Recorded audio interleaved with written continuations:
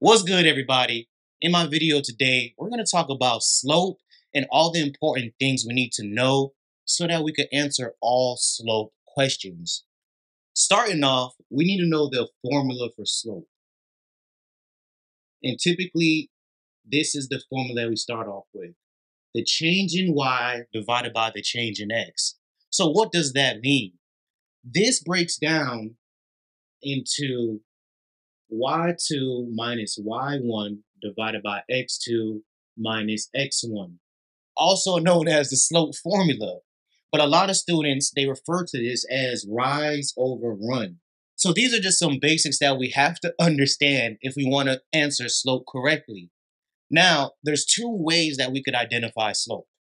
So the first method, we're going to talk about rise over run.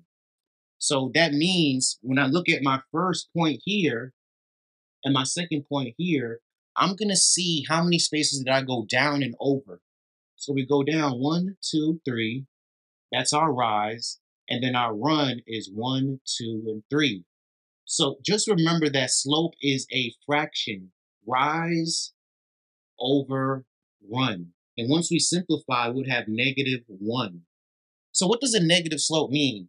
That means that when we look at this line, as we're going down this line, is going to be going downwards like some stairs. And later on in this video, I'm going to show you all the different kinds of slopes. The second method, it is, we could figure out the coordinates for each point. So when I look here, our first point is going to be 3, 0, and our second point is going to be 0, 3. So this is important now because we're going to use the slope formula and we're going to uh, figure out if we could get the same answer for slope. So we're going to label this x2, y2, x1, y1. And all we have to do is make sure that we follow the order of the, the order of the formula. Students make a mistake where they substitute incorrectly, and that's what causes them to get this wrong. So we had 3 minus 0 over 0 minus 3. So we're going to get 3 over negative 3, right? And once we simplify our answer, we are going to get negative 1. Now, I know some of the students are going to say, hey, Peters, what happens if I do it the other way? So I do y1 minus y2 divided by x1 minus x2. That's okay. We definitely could do that. And I'm going to show you guys that we will get the same exact answer. When we look here now and we switch this around, we're going to have 0 minus 3 on top. And then on the bottom, we're going to have 3 minus 0. So this gives us negative 3 over 3. And once we simplify, we're still going to get the same exact answer. We're going to now talk about the four different kinds of slope. So we have a negative slope, which is just a line that looks like we're going down some stairs. We have a positive slope, which is a line looking like we're going up some stairs a slope of zero, and a slope where there, it's undefined, meaning we have no slope. So when we look at the positive slope, guys, just remember that we read our graphs from left to right. And once I've set this formula up, similar to the negative slope, it doesn't matter whether we put x1 or y1 first. Once we follow the formula, we're going to get the same exact answer. So when we look at this right here, this is what we're going to get. And just an important rule of thumb anytime you have a negative number and we're working with slope, just put it in parentheses so we can make sure that we actually have the right sign for our slope. So once we simplify this, we'll get 4 over 4, which is just 1. So this slope will always be positive no matter which order we solve it in. When we go to our undefined slope, this means that the x's are going to be the same. So once we set this up, we're going to have 1 minus negative 2 divided by 4 minus 4. So once we simplify, we're going to get 3 over 0. Just remember, we can't divide a number by 0 and get an answer. It's undefined. There's no value. So this is why we say undefined for a vertical line. Now, a lot of times students get confused with the vertical line and the horizontal. So the horizontal has a slope. It's just that the slope is zero. So once we go through and we solve, we're going to notice that our y values are going to be the same. So we're going to get a zero on the top half part of our fraction. We can divide, but our answer is just going to be zero. So when we look at this, there is no rise. It's just going to be a straight line forward. So these are the four different kinds of slope.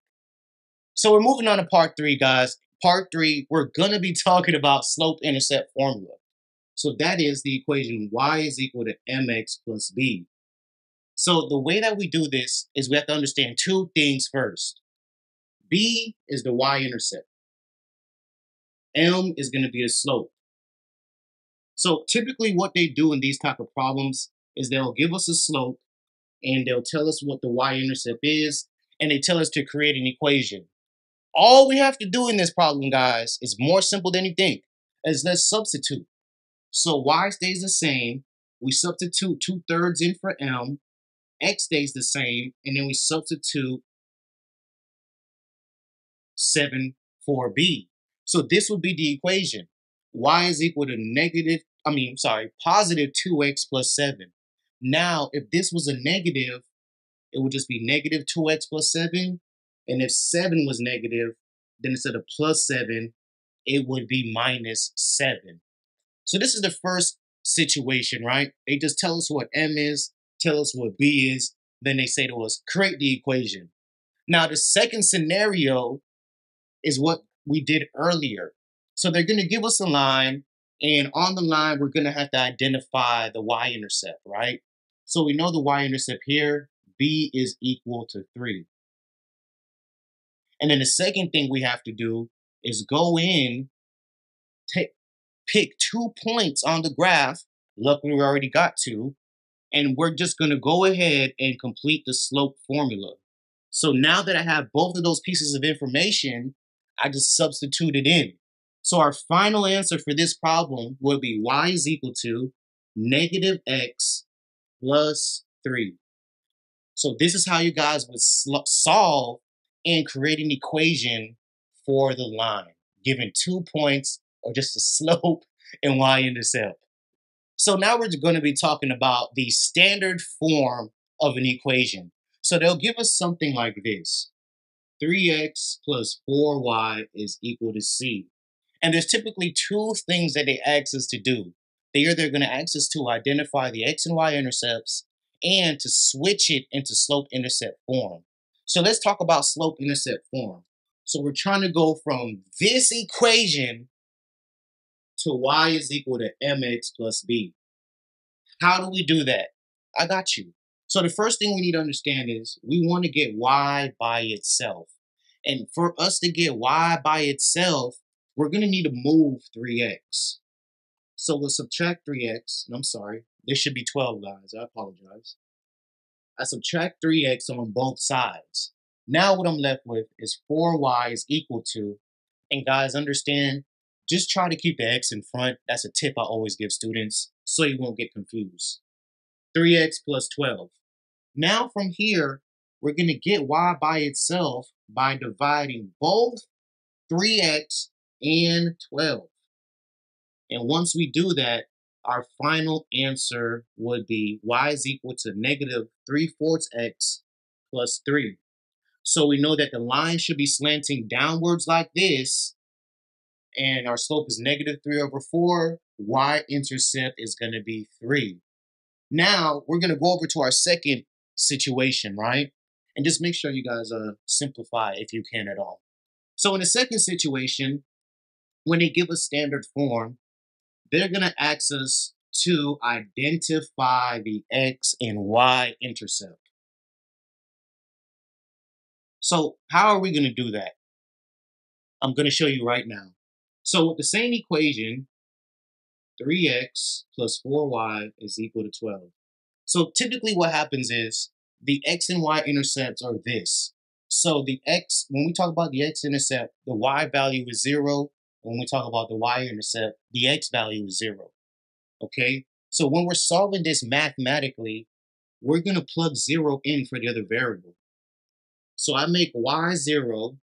This basically goes away because it, it's just 0. And we have 3x is equal to 12. Once I divide by 3, I'm going to get x is equal to 4. So what is the x-intercept? The x-intercept, remember, it's an ordered pair. So don't forget, guys, it's an ordered pair, so there should be, it's a point, right? It should be an x and a y value. So this is the x-intercept.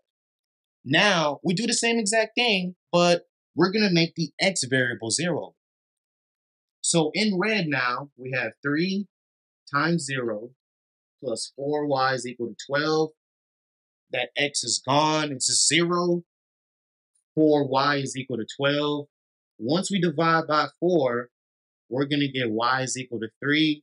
And just remember, this is the y coordinate, right? Y-intercept, meaning x value is 0, y value is going to be 3. Moving on in the video now, guys, what we're looking at now is how to work with the point slope formula. And we use this in situations where they give us one point and a slope and they tell us to create a line, right? Or create the equation for a line, I should say. So this is what we have to do. We're going to take the x and the y and substitute it in where we see y1 and x1. And then substitute 2 for m. So we have y minus 1 is equal to 2 times x minus 4. Okay? So that's the first thing we have to do, guys. We have to substitute. Then from here, we're just going to distribute and solve. So in our next step, we should have 2x minus 8 after distributing 2 to x and negative 4.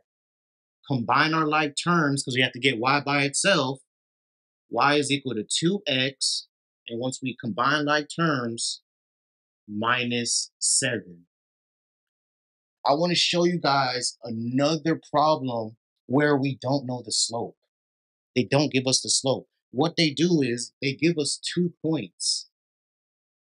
So how are we going to exactly solve this? So what we're going to do is this. We need to know the slope first. That's the most important thing. We don't know slope. So let's go ahead and uh, figure out what our slope is right now. So once we figure out slope, we're going to set this up.